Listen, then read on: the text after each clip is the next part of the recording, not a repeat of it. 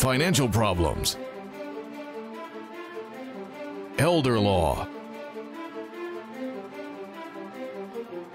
tax problems, business matters, divorce, personal injury, bankruptcy, your life, your reality. Life is complicated. There is the law and there is reality. Welcome to Law and Reality, sponsored by Thav Gross. Now, here's your host, Ken Gross.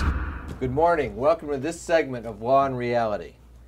You know, it took me a second to decide what I wanted to cover today, but we've gone past October 15th, which is the second deadline after the extensions. So I thought it would be a good time to talk about tax problems. We have Jenny Lingl back with us again after a couple weeks off. Good morning, Ken. Good morning, Jenny. Glad we're here to talk about my favorite topic today. Taxes. David Einstandig Ken, it's always a pleasure to share the desk with you. and Brian Small. Hey Ken, how Hi, are you? Brian. You know, I tell you something. I was a little worried when you started talking about extensions. All I could think of was hair extensions, and I- I figured that would be a real problem for me. It would definitely be a problem for you. And we're still trying to work through the fact that you have a face for radio, but we're getting there. Now that I've got that out of the way. Thank you, thank you. Thank Here's you the so subject. I have a tax problem and I don't know what to do. Call Jenny. The first thing I thought about when I was prepping for the show today is I said, I wonder what Google would say if I said, What are the most common tax problems? You would think you would have a zillion hits. When was the last time you searched something you didn't use Google? I always use Google. I mean, how many I, every once in a while, I'll go to Yahoo or uh, sometimes You go to Yahoo. You know what you should have done? You should have gone to Wikipedia, Siri. maybe. If you'd asked your phone, you would have spent, you would have saved yourself so much extra time. If I want. If you asked Siri on your phone. Is she more Siri- accurate than Google? Siri and I do not have a good relationship. I'm trying to repair it, but I stepped over the bounds with my iPhone 4, and since then she wouldn't talk to me during the iPhone 5. I now have a 6, and we're patching it up a little bit. Wasn't bit. there a but movie on that? I It don't was. know. Yes. But we've got a long way to go. so I Googled common tax problems, expecting to see what we consider to be the common tax problems, because we know what they are. The closest thing I could get to an article that even addressed the issue was in supermoney.com, and these are the four most common tax problems they said tax return errors, tax audit, IRS errors, and tax collection. Problem, well, problems for who? Problems for the individual, problems for the IRS. these are problems, but when we talk about problems for people in terms of tax problems, I didn't see it that way, and I'm sure you don't either, Jenny. Here's here's what I see as the four real tax problems that are out there, the common ones, and you you know pop in there if you if you disagree. One, I have not filed my return. Number two, I don't have the money to pay the tax. Number three, crisis, calling Jenny, calling Brian, calling David. IRS just levied on my wages. I don't have any food to eat. What do I do? And the fourth one, very similar to that, is IRS just raided my bank account and I have no money. To me, those are the four common crisis tax problems. I think what they were doing there is I think that your four are all included in their number four, which is tax collection problems. Yeah, They're just a pro- little vague. Probably so. Maybe they're just being a little bit too broad scoped in the in, in, in the thing. Yeah, an audit is a problem if you get audited, but audits are, th- are there's not also a number five. These are crises. There's a number five, Yes, there is Crises. now. What's your number five? the amount. But what I mean on the amount is that so many people, if they would actually get their return done properly, would, would, would, would, would figure out that they, their liability, A, is not as bad Oh, as it is. Yeah. B, there's a ton of deductions Improper that they're not taking, improper preparation, which probably could, which, which would likely lead uh, to many uh, So individuals as less problems down the road. Maybe that goes to return errors when they said that, because it wasn't just the return errors in the article wasn't just referring to IRS calculation errors, but that was one. That was actually problem. Okay, there's three. four, but aren't they weighted? But No, no, but but I want to go back to my four problems. I think wanna, your four I, problems can be summarized in one problem. I don't want you to do that. Not allowed. Please don't do that. No because what I want to do is cover the material We that we're will, covering in the show. but it's all about burying your head in the sand. Oh, you're going to give the berry in the head in the sand speech? Go ahead. Take saying, 30 seconds. Give us you- the berry in the head, bury the head in the sand speech. Go on, Brian. Go ahead. Give us a speech, and then we're going to do what we're supposed to do on the show today. That's fine. What's? Give us a if you bury your head in the sand and ignore all of these problems, there's only one way to escape the IRS eventually if you ignore the problems. What's that? It's a pine box. Well, without being too coy, that problem escapes is a way of escaping all problems. And eventually, we all get there. But if you want to avoid the thing, you the may pine get there box- sooner if you keep interrupting If- the flow if- of the if show. the Sounds like pine box isn't if the the four of us had to bury our head in the sand, I think yours would be the quickest and slickest for obvious reasons. I would bury his head in the sand. He He's wouldn't got no himself. friction. If you All right, let's move want on. to avoid the I- pine box uh, solution, point then well let's taken. deal with each All right. individual problem and show the, our And audience let's, what let's, we can let's do to do fix that the now. problem. I've not filed my tax returns. Background, the law mandates that you file. It's a crime not. Jenny, what's the penalty for failing to file the tax return? Well, when you don't file your tax return, you are first going to get hit with the failure to file penalty and then the failure to pay penalty. And both of those can add up to almost 50% of the unpaid tax. We're- so we're- not filing can be up to 25%. And that's the most stupid one to incur because and, and it goes fast. It's five percent a month, bang. Five months, twenty-five percent. There's no penalty on failing to file the return if you file the return on time. Isn't the struggle? the return. Then all you have if is the file failure to pay. on well, hold on. Isn't the struggle that the individual is saying, you know what? If I file, because I know I don't have that kind of money. I don't have 10 grand. I don't have 15, 20, whatever it is. If I file, that puts me on the radar. That makes things, everything coming to me quicker. And I'm better off. I'm better off if I just hold on Yeah, but and you- wait a couple th- months. th- there's a significant problem with all of that. Failure to file your tax return is a criminal act. It is called tax evasion. That's that's that, that's another problem that goes with it. And on Wait top minute, of that, and Jenny, wait a minute, you- wait a minute. Jenny, Speeding is a criminal act. Sometimes people make decisions it's and a there's felony. a risk. It's a felony. And what I'm saying It's is, not a. It's never a smart risk. the person who's delaying because they don't have the money is not necessarily taking that into account, but it's a real fact. I I think if you're delaying, I think what you need to do is contact a professional and find out what you're really up against. Most people, after they leave my office, say, I wish I would have come to you sooner. And, uh, and, and the other point of what you're saying, and we're coming up to a break, is eventually it's going to come up and hit you. You can't avoid it forever. And if that's the case, all you're doing is potentially subjecting yourself to criminal action. You're letting the problem get further and further behind, and you're also locking yourself into that 25% penalty that you could have avoided. When we come back from the break, the next question is the guy comes to Jenny and says, I haven't filed for five years. I don't know where my records are. I don't know what to do. How do I take care of doing that return? What do you do in that situation? How, how do you figure out how to prepare the return? That's the big question. We come up to the, after the break, Jenny's going to answer it. It's devastating. The effects of debt and foreclosure on you and your family. There is a solution. We're Thav Gross, our firm will solve your problem. Some fear the word bankruptcy, but in reality, it's a strategy to save your home and to eliminate debt. If you're in financial trouble, timing is critical. You need to take action now. We've been saving homes and eliminating debt for over 33 years. Call Thav Gross 888-235-HELP. If you're retired and in a financial crisis, there is a way out. It pains me when I see a retired couple exhaust their savings by paying credit card bills and for a home hopelessly underwater. Thav Gross specializes in helping retired people in financial crisis. You just can't keep paying until you're broke. You need to address the problem now. 888-235-HELP. That's 888-235-HELP. We're Thav Gross, our firm will solve your problem. A lifetime of hard work. If you don't have the right plan in place, you can lose your home, your savings, and more. And you didn't come this far to lose everything. Samasco Law wants you to know that laws are changing. Today, the average cost of nursing home care is $85,000 a year. With proper planning, we can help protect your life savings and get you the Medicaid and nursing home benefits you deserve. How much can you afford to lose? Call Samasco Law today. Carrying too much debt? Resolve your debt. Call Thav Gross. You don't need to be broke and you don't need to hit rock bottom. If you have income and you're struggling with debt, Dump it. Think about the next 10 or 20 years. If you do what the banks tell you, you'll have nothing to retire with. There is a solution. Don't waste your future. Call Thav Gross. We're experts at eliminating credit card debt. 888 235 HELP. That's 888 235 HELP.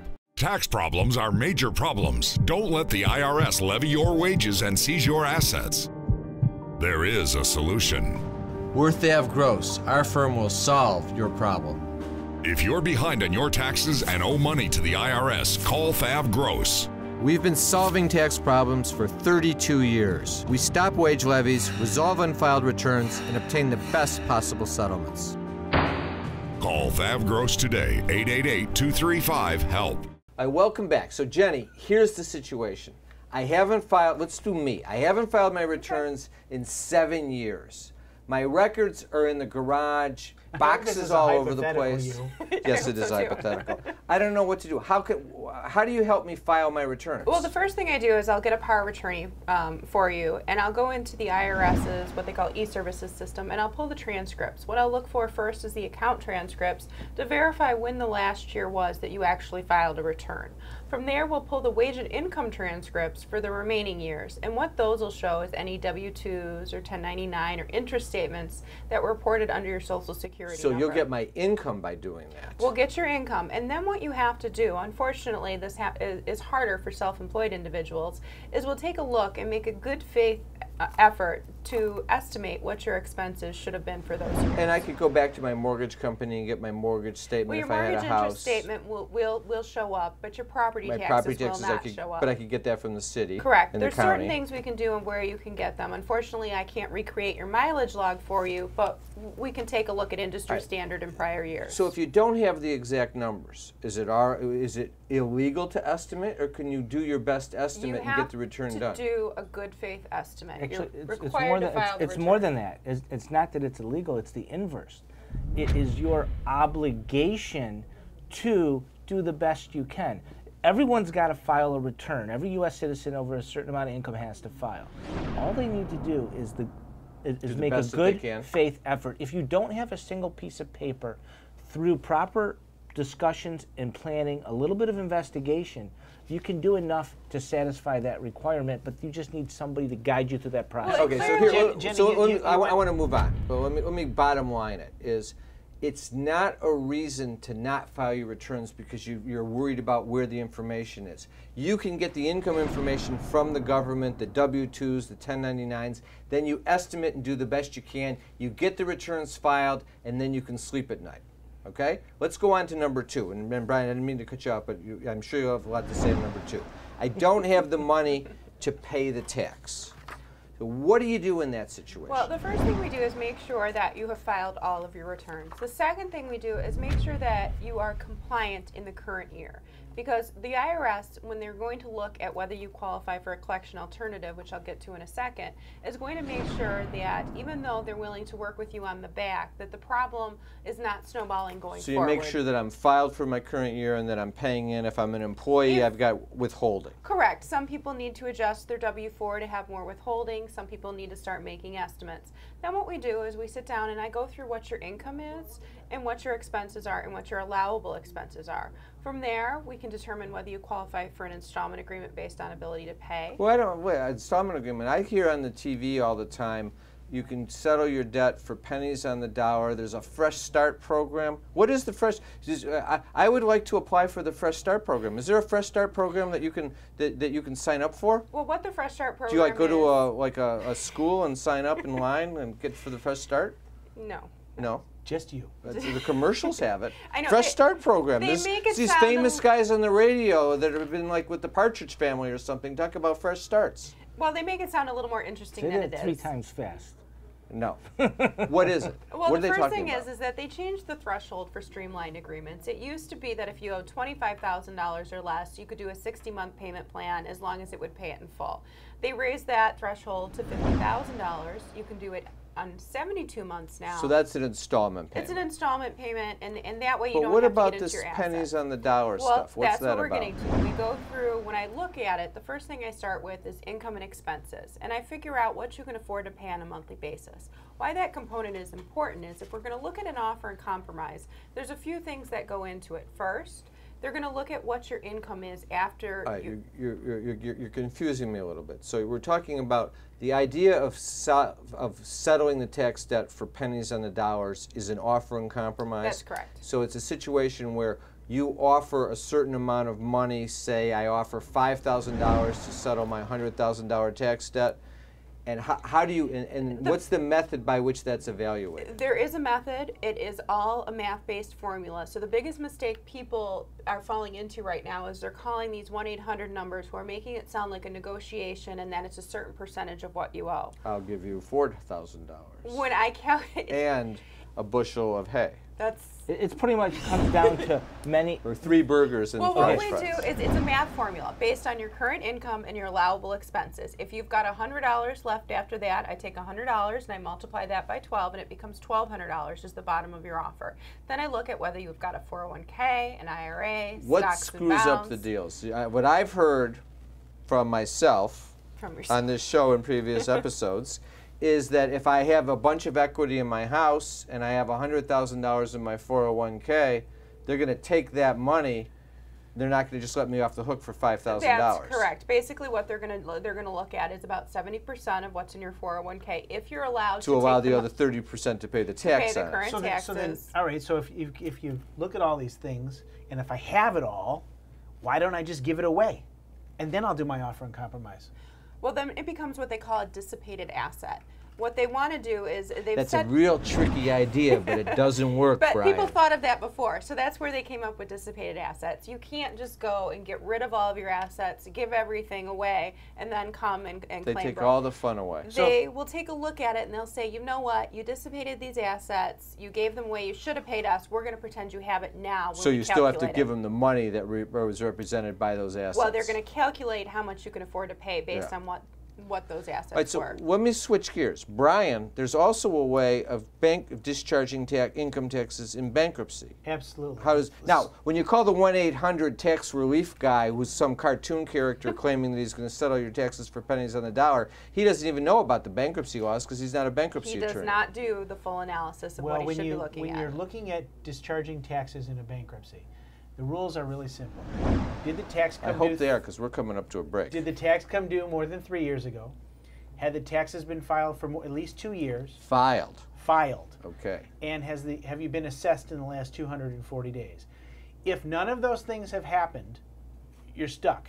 But if they came due more than three years ago, they're filed more than two years ago, and you haven't been assessed in 240 days, ostensibly the tax is dischargeable in a bankruptcy. So if I filed the return, I'm okay. But if I didn't file the return, like we were talking about before, an IRS filed the return for That's me. That's called a substitute for return that is never dischargeable in bankruptcy. So we should probably come up with new definition of SFR for substitute for return and as to how it works.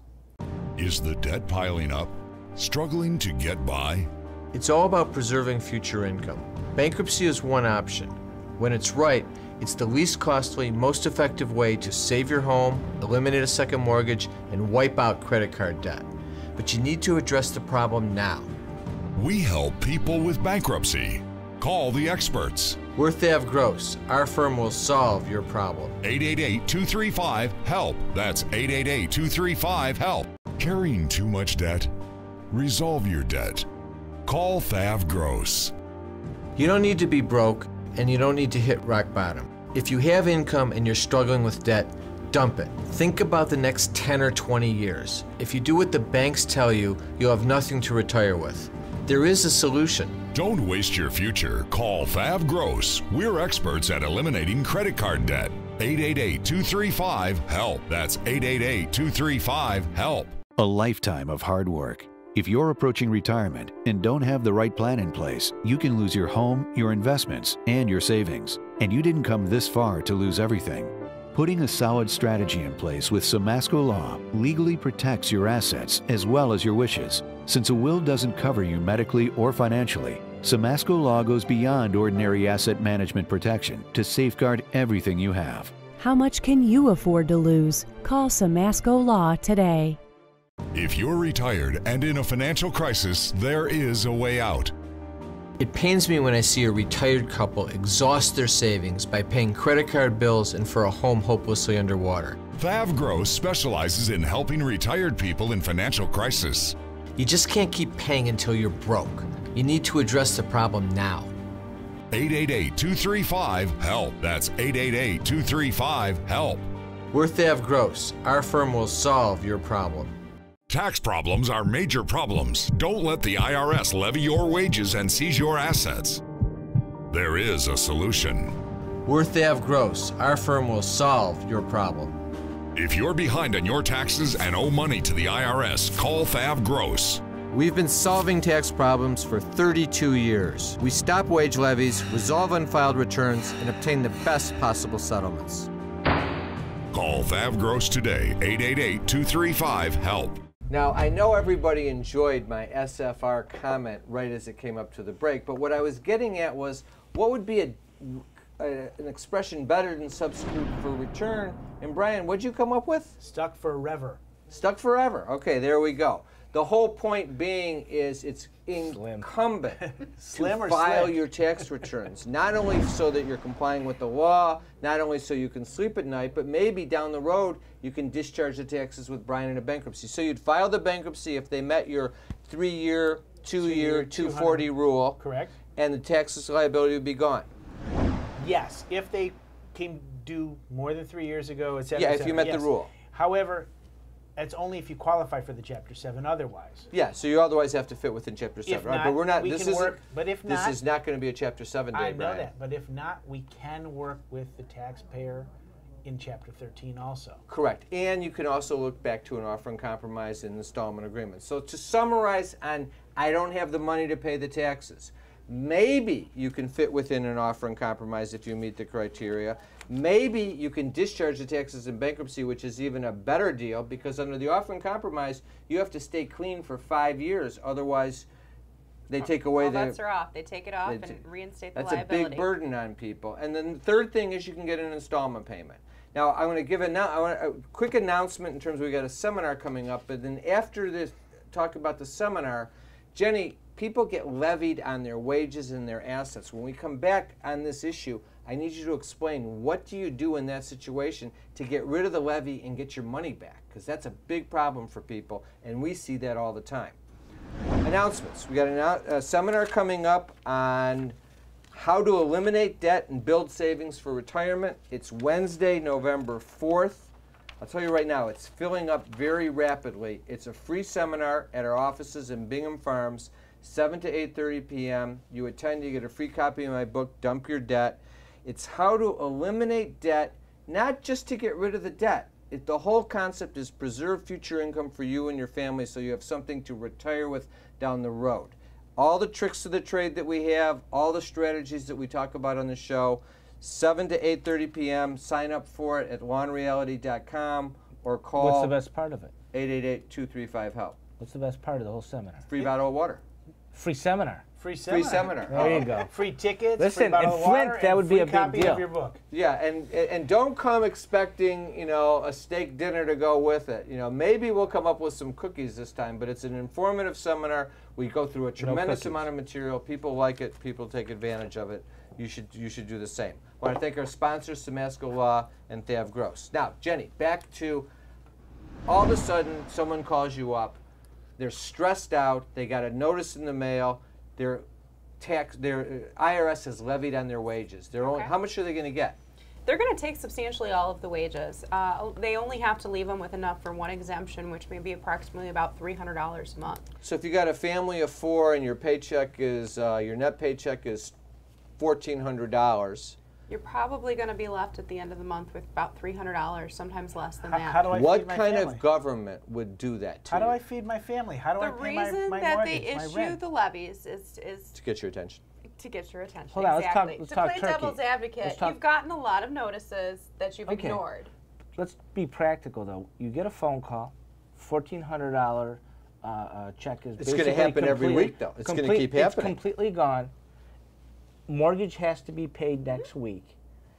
What? How do you handle that so they don't go into a default on the mortgage and et cetera? Well, it's a tricky question because there's a lot of different scenarios, but it, the person that is in the best position for me to be able to get that levy released quickly would be someone who is current with filing their tax returns. Okay, so if they're not, they have to get current You fast. have to get current unless sometimes And it doesn't mean you have to pay everything. No, you just have Just to file. file. Now, if you're assigned to a revenue officer, sometimes we can work things out in which they release the levy and we set additional deadlines. What do you mean assigned to a revenue officer? Uh, some some of my clients are in what they call automated collection services, which That's means like a computer. it's like a computer. The levy came from the computer. Is that like Siri?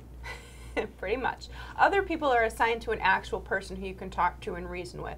So, on the one side, if you're with collections, if you owe less than $50,000, sometimes what we try to do if you're current is call in and set up a streamlined payment agreement, agree to it, give them the fax number to release the levy, even if that streamlined agreement is not our Can end you game. usually get the levy released and get their wages back in order, or get and get their bank account money back? The majority of the time, I can. There are a lot of different procedures. If you're with a revenue officer, and sometimes your revenue officer is really unreasonable, the first thing I do is file a, a collection appeal right and request a management conference. Sometimes that just a little additional pressure um, will get us some time where they'll say, okay, let's come back to the table and set some deadlines. And if you don't meet these deadlines, we're going to reissue. How hard would that be to do it yourself?